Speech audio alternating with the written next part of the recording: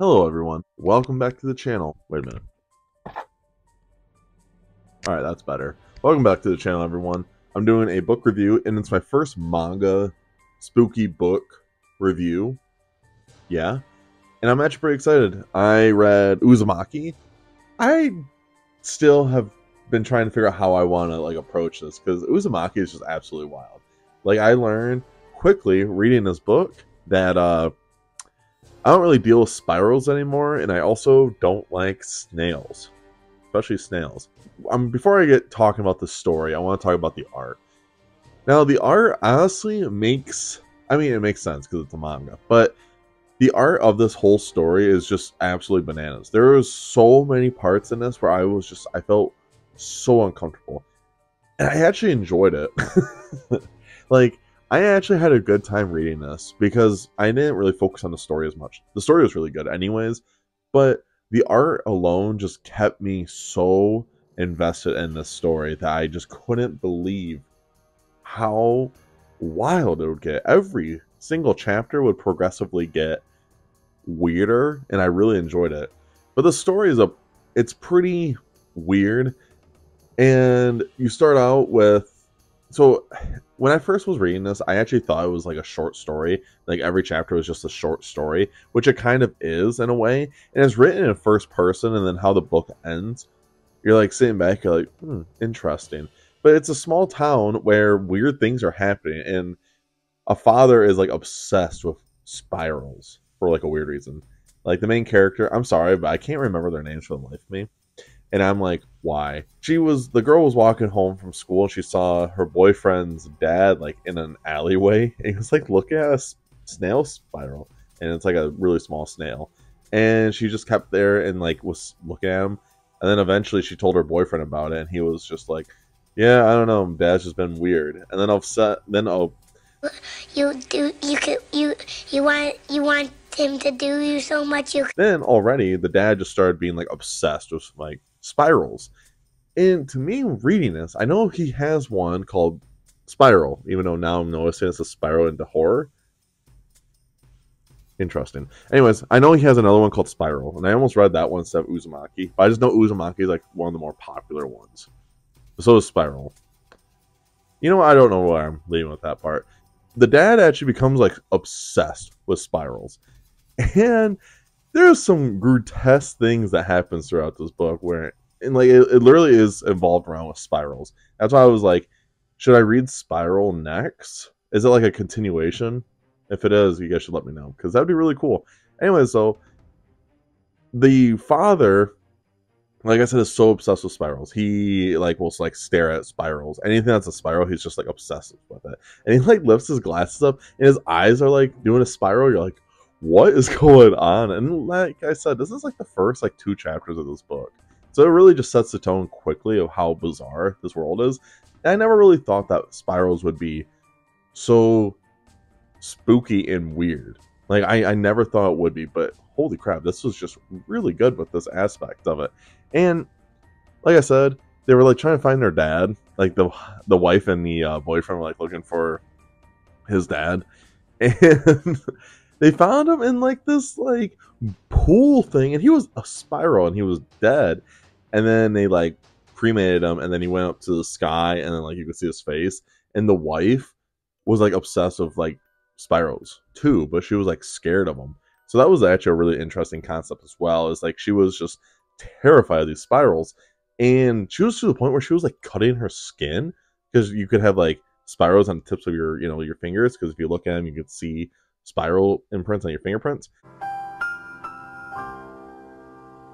And she was just like, I have to get rid of them. And she was going absolutely bananas. And the whole scene was just grotesque.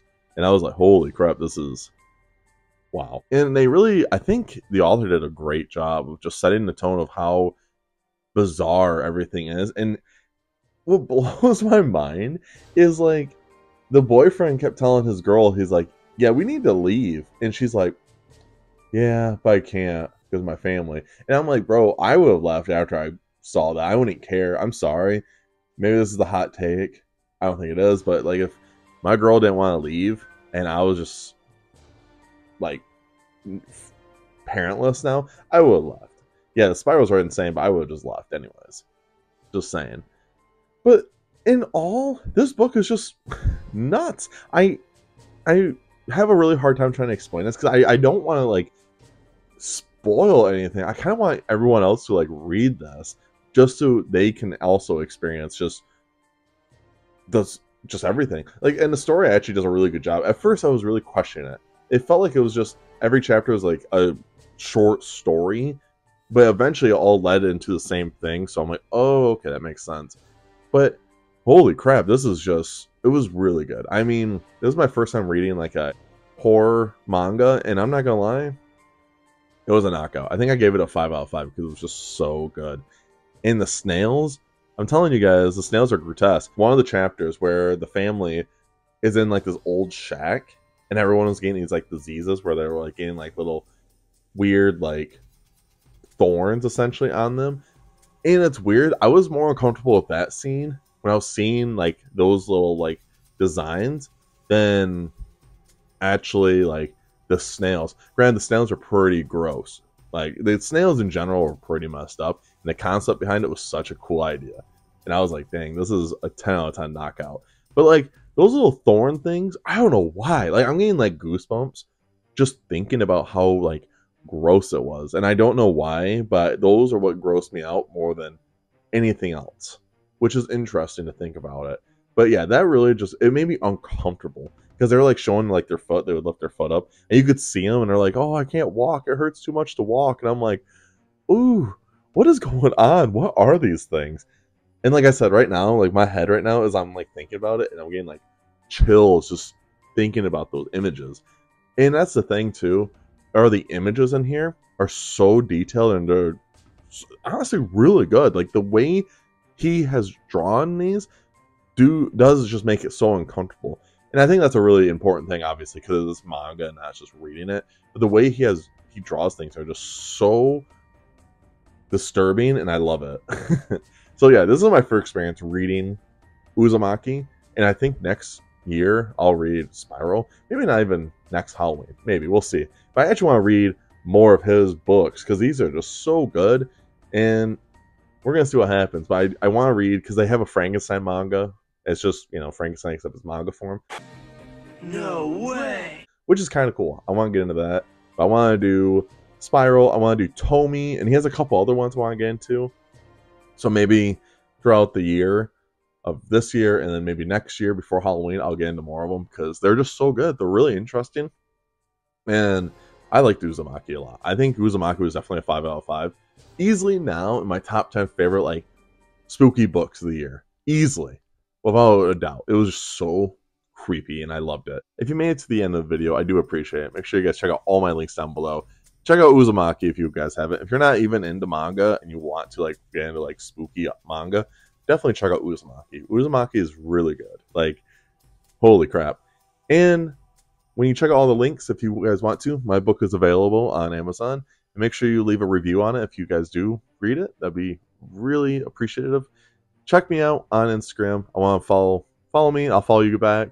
I want to see what you guys are reading. I'm posting a bunch of book content there for reviews, and I'm posting updates of my weight loss journey.